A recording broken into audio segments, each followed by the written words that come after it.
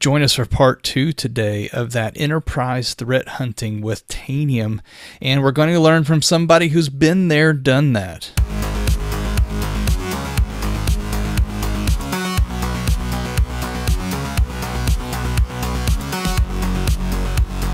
Welcome back to GoTanium Tech Talks. I'm your host, Ashley McGlone, and we've got a great show lined up for you. This is part two today of threat hunting with Tanium. And as we started up last time, if you've not seen the last episode, go check that out. Paul Ke- Kelly gave us a great overview of threat response. And now we're going to go in a little deeper and actually get onto a machine, see what's going on there, and do some remediation even. So go back and watch part one. But if you haven't watched it, hey, stay tuned. We're, we're going to get into some good things. A couple quick announcements uh, before we get going here. So if you've not uh, seen yet. The Converge dates this year are going to be November 14th through the 17th in Austin, Texas, live in person. I hope I can meet you there at the event. But I want to ask you something. Would you do me a favor? Have you used Tanium in a clever, creative way? Have you built your own stuff? We'd love to hear from you. Please go sign up. Go to converge.tanium.com, scroll down to speak at Converge. There's a button there. We'd love to hear your story go ahead and sign up. I promise it'll be a great experience, and we'll be there to support you all the way. Uh, also, as we're talking today about hands on hunting, we have a workshop of the same name. It's about four hours, uh, virtual format, and you can find that at tanium.com slash events.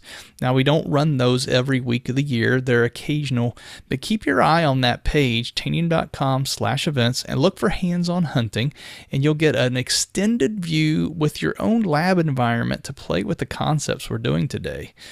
Now, welcoming back to the show here, Paul Kelly. Uh, Paul Kelly was one of the first 25 employees here at Tanium. He left the company for a while, used Tanium in the real world at a massive customer, and then came back to continue serving our customers in an even greater capacity. So, Paul, welcome back to the show. Thanks, Ashley. It's great to be back. Yeah. Now, last time we had gone through the Tanium uh, threat response interface, and you'd walked us through getting some overview, looking at some alerts, digging into details there. Now, I'm really interested to see where you're going to take us next. Thanks again, Ashley. Thanks for uh, having me back. So, just to review really quickly, the last time that we got together, we were working with alerts and we were di- digging into a Mimikatz example. And we're going to have a little bit of a continuation on that one as I show you specifically how you can actually take some actions on this. You can gather additional data, you can create a snapshot, but then you can also um, remediate on this host. So the last time that we got together, I showed you the details and walked through um, these findings here and all super helpful information. We talked about the impact score and why lateral movement matters and how that is affecting the severity of this. So, one of the things that we now want to do really is actually let's actually take some action. Let's remediate this. So, in preparation of this um, Go Talk show, I wanted to gather a snapshot in advance, which I've already done. And we've already downloaded a copy of the file for evidence. Now, we can also do a live response package. So, this is where you can actually create a bundle for an analyst. A SOC analyst can actually get all of the uh, common load points and other configuration details and things that matter, including a memory dump if you wanted to.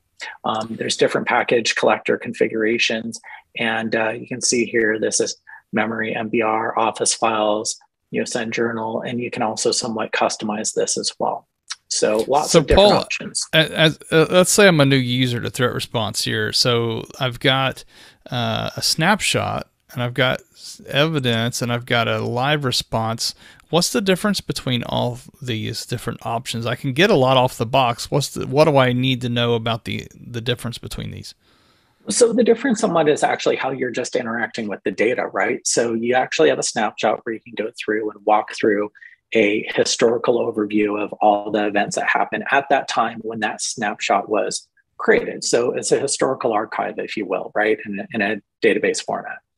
The live response goes well beyond that. That's actually incorporating not just that information, but a memory dump as well, if you want it. So an analyst can actually go through and do a proper memory analysis. And uh, really the um, uh, option here to do a live connection is, well, just that. You're actually at the console. It's not a snapshot, it's real time. You're there interacting with that host. And it's really, really powerful, especially if you're doing an active investigation and you do have a threat that's running on that host. It's just as if you're at the console watching everything happen in real time. And then you can grab evidence as it's happening, build intel, build signals, create detection ability, and then create um, your remediation as well. So you can actually pivot right from there and either quarantine the asset altogether or you can actually remediate it and enforce. Yeah, and there's lots of those options to, to grab data off the box, like Paul was just saying.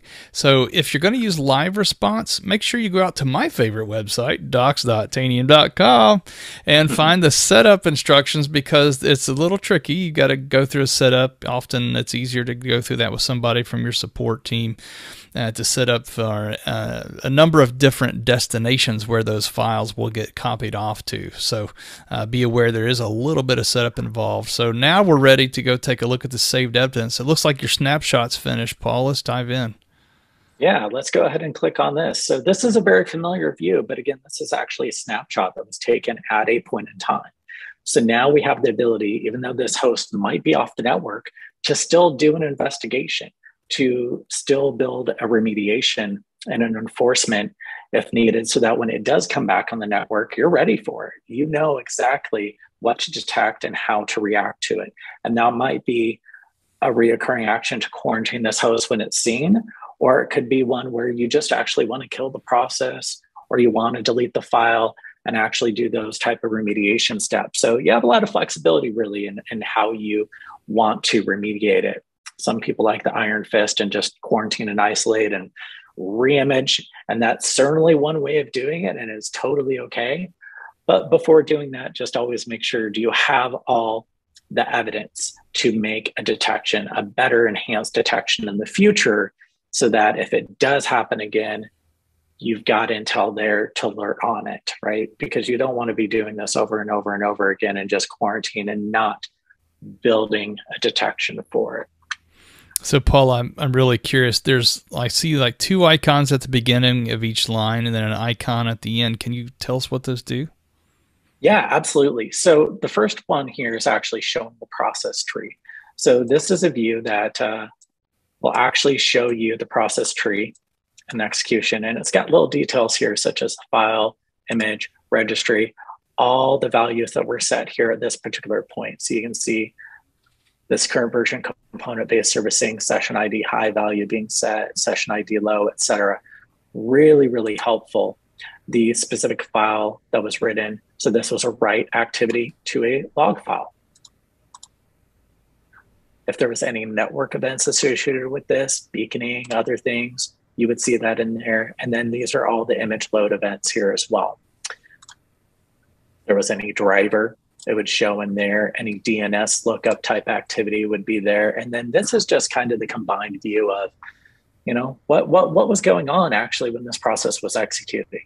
And this is where a lot of people just want to bring their attention to because it actually shows you everything. So this all actually looks pretty good. So I'm not concerned about this at all, but it gave me the ability to just quickly put eyes on this, right? And I can just see this is fine. Now, earlier when I was working the alert, there was some things of interest, right? There was that command line path, there was the PowerShell file itself. Now, those are things that you'd probably want to actually go and and and filter on, right? So you can actually identify that. I mean, so on the host that we detected the Mimikatz on, we have the ability to go find other artifacts, right? Things that could have actually been used by the threat actor, for example, maybe they've actually got other components of Meme cats, and you can certainly filter and look through here. Now, one thing to point out, that was a detection that was blocked, right? So we're not going to see the evidence in here. Microsoft did its job. So that was a good thing. But there could be some other artifacts in here that we identify that could be of interest, things that we do want to search enterprise wide for. So I showed you earlier how to walk the process tree, but what if we want to ask that enterprise wide question and just kind of see which computers have that process with that particular MD5 hash, or which computers have running processes with the command line, right? So, and notice the full command line there. So let's do this first one here as an example today. And it immediately takes you into the interact question results. Properly formats the question for you and it asks it. And then you'll see in real time, it's going out and asking all of those hosts for the results and it's getting them. So we should have some results here too. And certainly we do. Yeah, so what we did was we we looked at an alert. We found the details on one machine. Then we just looked across the entire environment, see if anybody else could have this.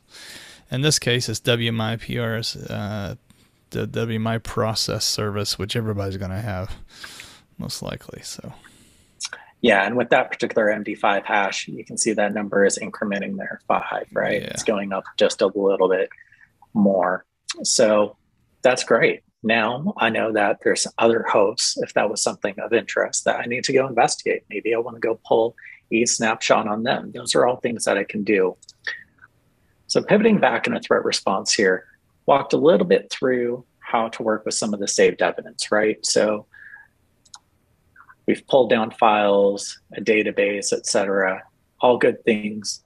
But now what if we actually just want to use the platform for some hunting? Right? So that was based on alerts. That's things that we have alerted on.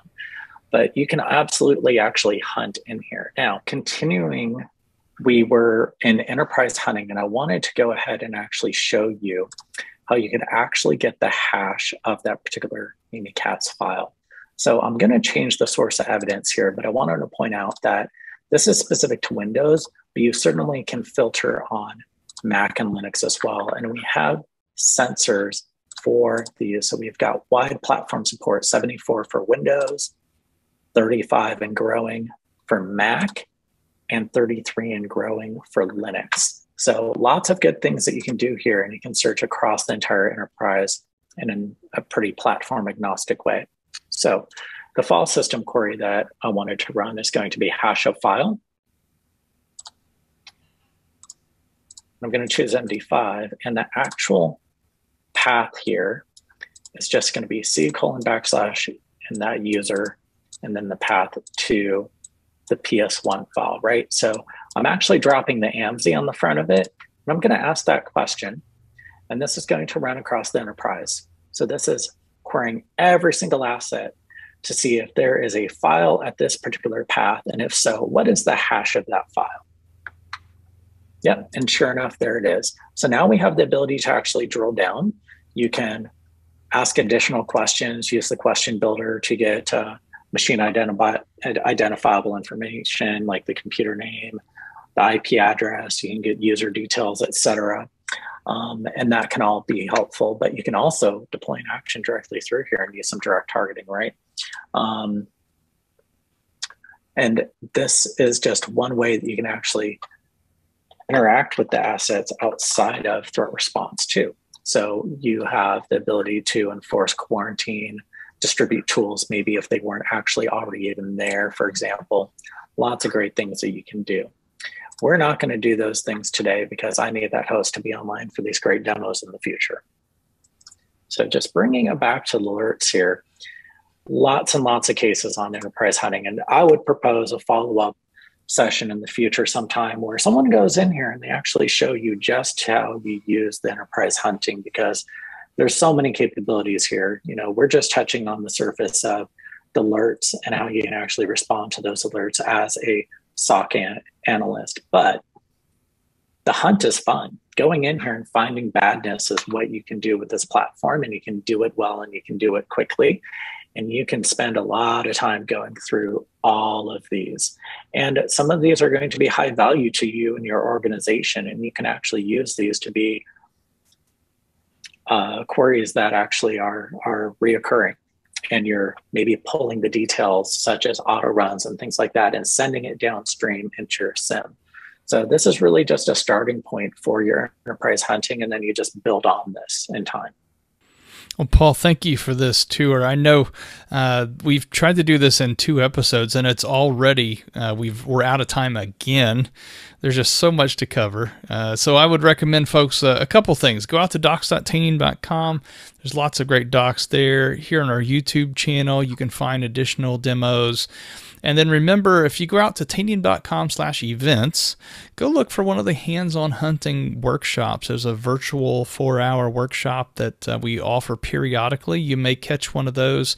And if you don't see one out there, go talk to your Tanium account rep and let them know you'd like to participate in the next hands-on hunting workshop. So, Paul, thank you for. I can tell uh, as you're giving us this tour that you've uh, done this before because you're you're fluid with the console, and I know this is uh, used to be your bread and butter every day operating the Tanium console. So, thank you for this tour today. And I apologize for rushing through this episode. We have got uh, so much more to talk about on threat response, and we'll catch that perhaps on a later episode. But thank you for joining us today. Until next time, go Tanium.